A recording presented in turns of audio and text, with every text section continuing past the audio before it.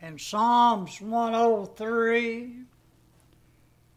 starting in verse 1, the Bible says, Bless the Lord, O my soul, and all that is within me, bless his holy name.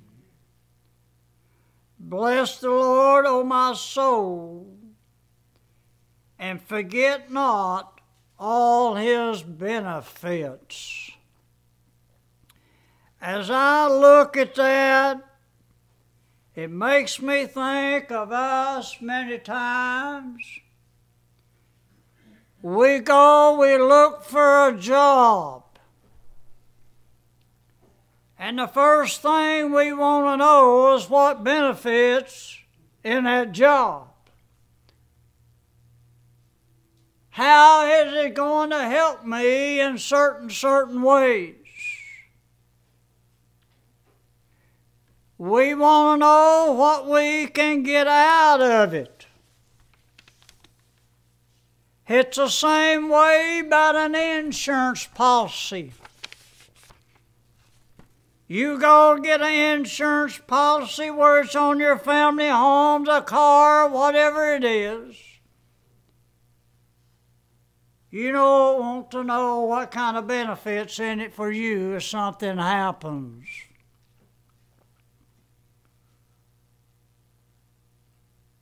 Well, the psalmist said in Psalm 68 and 19,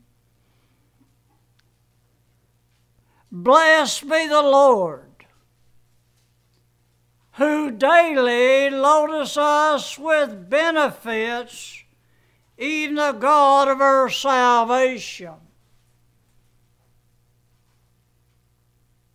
Have you ever sat down and thought about the benefits that we get from God.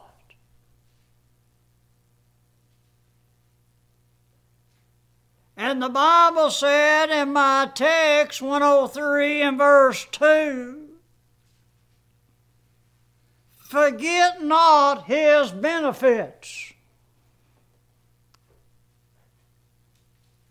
I am a firm believer here this morning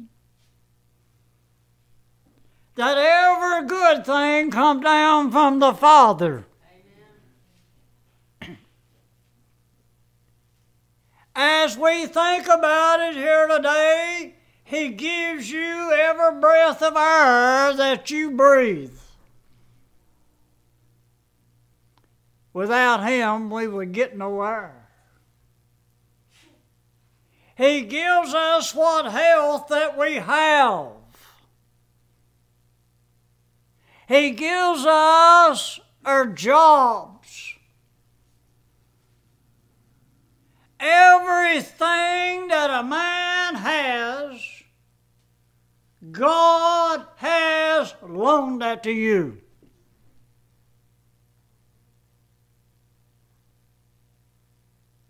But many times we forget that and we look to this world for the things we stand in need of. And we need to be looking to the Lord and thanking Him for everything that comes our way. One of the things that we get from God is the forgiveness of our sins. He said in Psalms, verse 3 of 103, Who forgiveth all thy iniquities. If we ask Him sincerely, He forgive us of all our sins. And if we did not receive nothing else from God, that would be worth it all to first serving Him. In Acts chapter 5 and verse 30 and verse 31, He said, The God of our fathers raised up Jesus that you slayed and hanged on a tree. Him had God exalted with his right hand to be a prince and a savior, and to forgive the repentance to Israel and the forgiveness of sin. Even the people that had crucified him, he was dying for them. Ephesians 1 and 7, he said, In whom we have redemption through his blood. The forgiveness of sin according to the riches of his grace. You know, you and I, we might try everything in the world to get our lives straightened out. But you can't do it. The only way that you'll ever get straight is through Jesus Christ, the forgiveness of sin. Remember what was said in Acts chapter 13 and verse 37 39. But he whom God had raised again saw no corruption. Be it known unto you, therefore, man and brethren, that through this man is preached in you the forgiveness of sin. And by him all that believe are justified from all things from which he could not be justified by the law of Moses. I noticed in the Sunday school book it said something about people living by the Ten Commandments. There ain't no way that you can keep the Ten Commandments. That's let you and I recognize the need that we need Jesus Christ for. I said all time in the commandments. There's one of them, if you could keep, you would have no trouble with the rest of them. As I love thy Lord God with all thy heart, with all thy strength, with all thy strength, and with all thy understanding. If we done that and kept that commandment, we wouldn't have a bit of trouble with the rest of them. But we failed him and putting Him first in our life. Another benefit that we get from the Lord that some people do not recognize is the healing. I know that we got doctors. And I know that there are times we need to go to the doctors. But I also know that God uses them also. Without the hand of God, that medication be like getting a shot of water. The doctors do their job and God do the healing. The psalmist said in verse 3 of 103 Who healeth all thy diseases. Man can't do it. Medication can't do it, but God can use just anything He wants to to heal it. Matthew 4 and 23 said, And Jesus went about all Galilee, teaching in their synagogues and preaching the gospel of the kingdom. But in the process of it, it said, and healing all manners of sickness and all manner of diseases among the people. He did it then, he can do it now. And he did do it then, and he is still doing it now. Hebrews 13 8 said, Jesus Christ the same yesterday and today and is forever. He don't change. We're the ones that change. We forget Him on many, many different things. but He's always there with us. Listen what it said in James 5 and 13 through 15. It said, If any among you afflicted, let him pray. And is any merry, let him sing psalms. Any sick among you, let him call for the elders of the church and let them pray over him, anoint him with oil in the name of the Lord. And the prayer of faith shall save the sick, and the Lord shall rise him up, and if he have committed sin, they shall be forgiven him. In other words, if you're sick, call the leaders of the church. Call God's people. And put your trust in God and let them follow the scriptures in the Bible. He's still in the healing business. He's still answering prayer. But I wonder how many today has even prayed for the service here this morning. We neglect to pray in society. And He'll crown us with love and kindness. In verse 4 of the 103rd chapter of Psalms. Said, Who redeemed the life from destruction, crowneth thee with loving kindness and tender mercy. He hath pulled our souls out of the depths of hell. He hath forgiven us our sins and has moved it just as far as east from the west.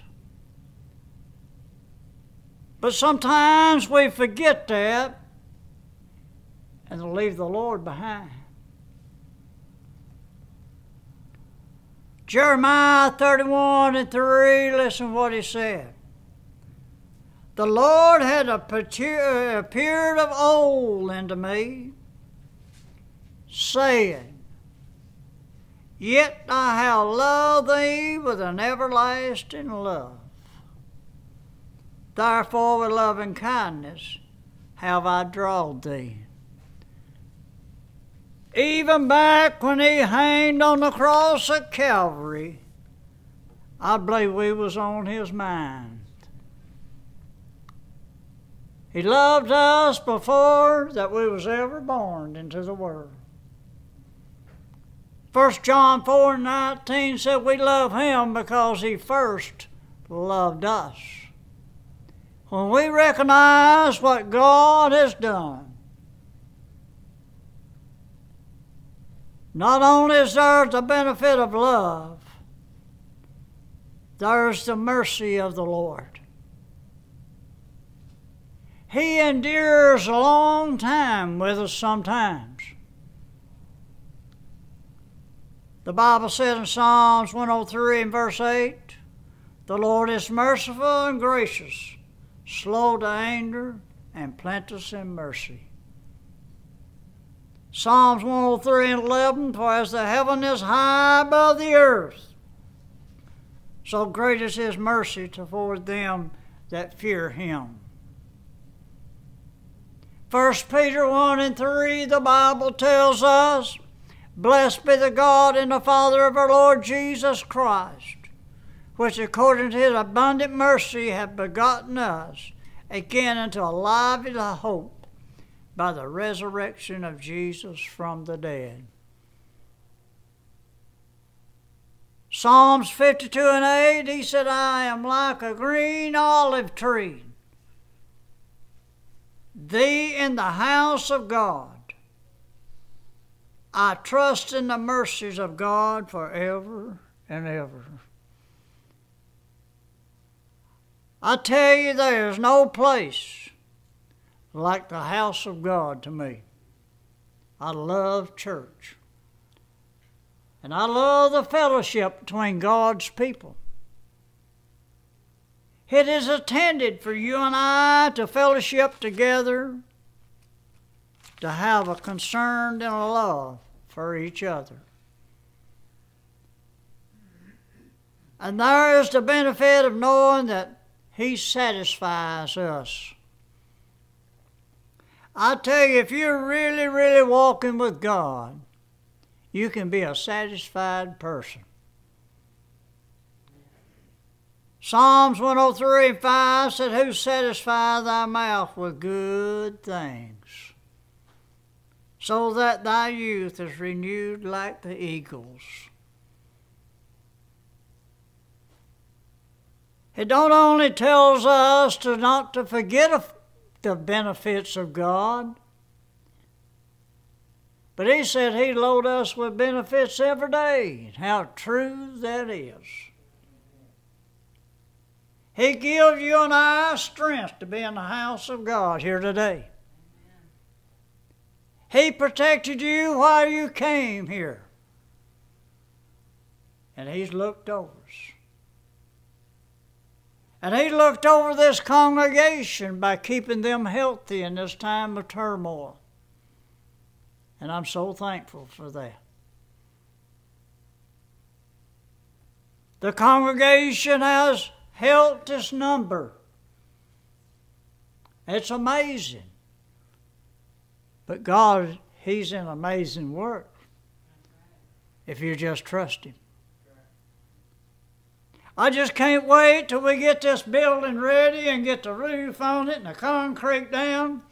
We'll have us a singing in there and let it rain. We might even call in some special singers.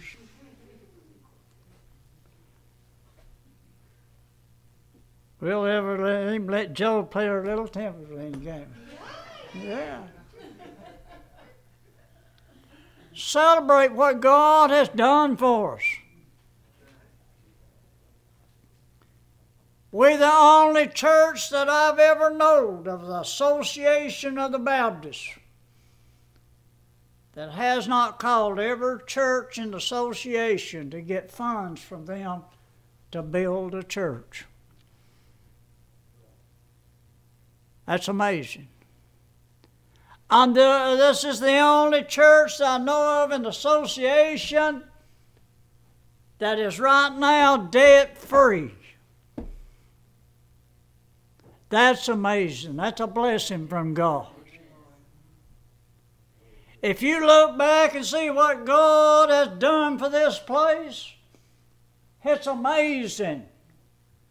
New carpet, new pews, new lights, new doors, acre of ground, new roof, new parking lot, new pews, everything.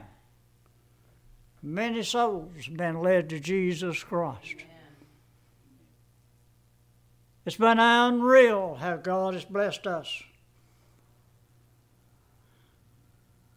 We have come from nothing to a strong congregation. And I'm proud of you. But it'll get stronger and stronger if you'll not forget the benefits that God has laid upon you. Be thankful every day for what God has done. Psalms 105, 38 and 40 said Egypt was glad when they departed from the fear of them that fell upon them. And he spread a cloud for them a covering and a fire gave light in the night. And the people asked, and he brought quail and satisfied them with the bread of heaven. He's furnished us when we had nothing to furnish ourselves but ourselves. It's amazing. He fed these people when there was no food out in a dry desert. He gave them water when it's out in the desert. He gave them a cloud to shade them of a day and a fire so they could see by night to travel. Amazing. If he did it then, he can do it now. So just trust in him. If you're here today and you've fallen short, find you an altar and start praying where God can use